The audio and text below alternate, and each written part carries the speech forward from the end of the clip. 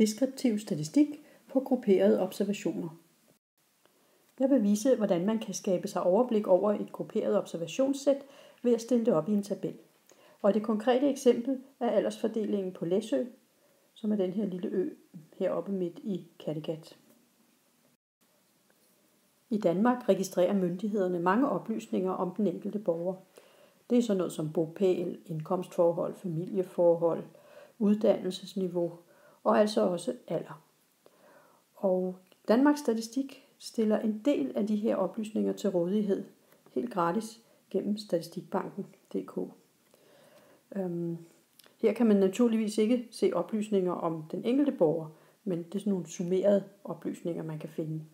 Og jeg har været derinde og fundet en aldersfordeling for Læsø, som galt den 1. januar 2014. Så jeg kan for eksempel se, at der var 8 beboere på Læsø, som var 0 år den 1. januar 2014. Og jeg kan se, der var 33, der var 50 år. Og jeg kan også se, at der var i alt 1808 beboere på Læsø den 1. januar 2014. Øh, selvom det er, er nogle øh, udmærkede og detaljerede oplysninger, så får man jo ikke noget direkte godt overblik over aldersfordelingen. Der er simpelthen alt for mange tal, og, og det er for besværligt at læse dem. Så jeg vil prøve at øhm, gøre noget ved de her tal. Og det første jeg vil gøre, det er at vi grupperer dem i 10 års intervaller. Så jeg vil altså se på, hvor mange 0 til 9-årige er der, og hvor mange er der i aldersgruppen 10 til 19 år, og så videre og så videre. Så. Og det er så gjort her. Så jeg kan altså se, at 121 af beboerne på Læsø er i aldersgruppen 0-9 år, 152 er i aldersgruppen 10-19 år, og så videre dernede af. Men øh, hvad betyder det egentlig at være i aldersgruppen 0-9 år? Så hvis man ser på en talakse her, her har jeg alderen hen af, af aksen, så øh, er et barn i aldersgruppen 0-9 år, jamen det er jo faktisk et barn, som godt kan være næsten 10 år. Hvis man spørger et barn, hvor gammelt det er, det siger 9 år, jamen så kan det jo godt være 9 år og 11 måneder og 30 dage gammel. Så man er faktisk i aldersgruppen 0-9 år, lige til det øjeblik, man holder, man har 10 års fødselsdag. Og i splitsekundet efter fødselsdagen, ja, så er man over 10 år, og så tilhører man det næste interval fra 10 til 20. Så aldersgruppen 0-9, den kan vi skrive på matematisk form som intervallet fra 0 til og med 10. Hvor man er præcis 10 år, kun i et splitsekund, lige når man har fødselsdag. Og så skifter man over og tilhører næste interval fra 10 til og med 20 år. Så intervallet fra 10 til 20 år, det tilhører man altså, hvis man har holdt 10 års fødselsdag, eller har haft 10 års fødselsdag, men ikke haft 20 års fødselsdag endnu. Og så videre med de næste intervaller. Så det her interval, det bliver intervallet fra 20 til 30 år. Her har jeg så tabellen, og der er aldersgrupperne nu blevet skrevet som intervaller. Og faktisk kalder vi de forskellige intervaller for observationsintervaller. Og hyppighed, det er bare antallet af observationer i de forskellige intervaller. Og hvis det skal være helt rigtigt, så hedder det også intervalhyppighed. Men der ligger altså ikke andet i det, end at hyppigheden 121 i intervallet fra 0 til 10, det betyder bare, at 121 af beboerne på Læsø er mellem 0 og 10 år gamle. Det næste, vi kunne interessere os for, det var, hvor stor en andel af beboerne øh, er i de forskellige aldersgrupper. Og øh, det kalder vi frekvens. Helt nøjagtigt intervalfrekvens. Så der vil man gerne vide, hvor stor en andel af beboerne er mellem 0 og 10 år, eller mellem 10 og 20 år, osv. Øhm, og hvordan kan jeg beregne det?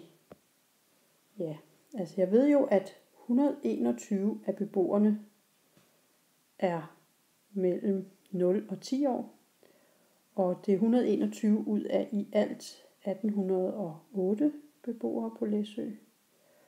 Og regner man det ud, så giver det 0,067, og det er jo det samme som 6,7 procent.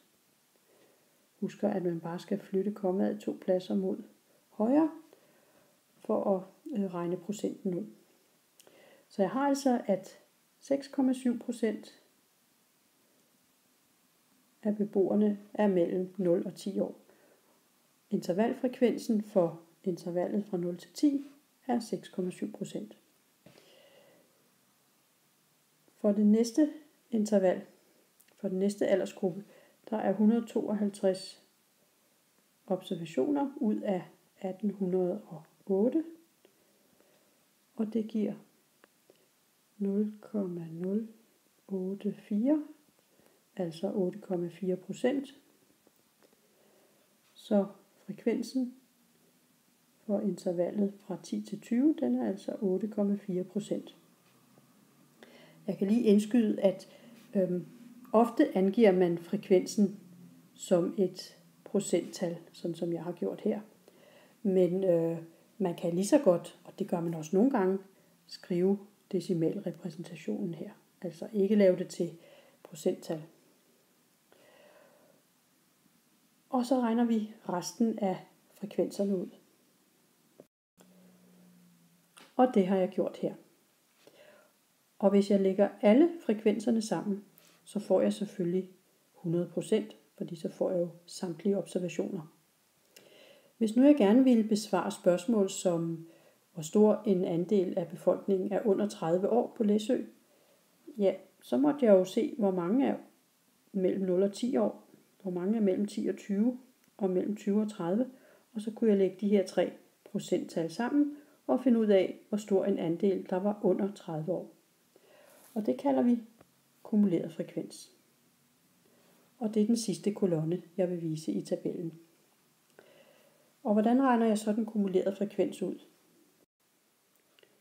Ja, kumuleret frekvens for intervallet fra 0 til 10 år, det er jo bare, hvor mange procent er under 10 år.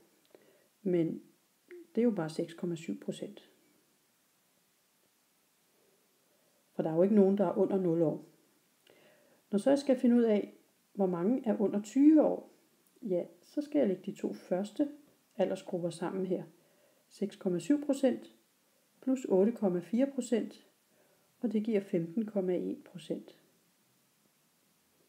Så 15,1 procent af befolkningen på Læsø er under 20 år. Når så jeg skal finde ud af, hvor mange der er under 30 år, så skal jeg jo lægge de første tre tal sammen her.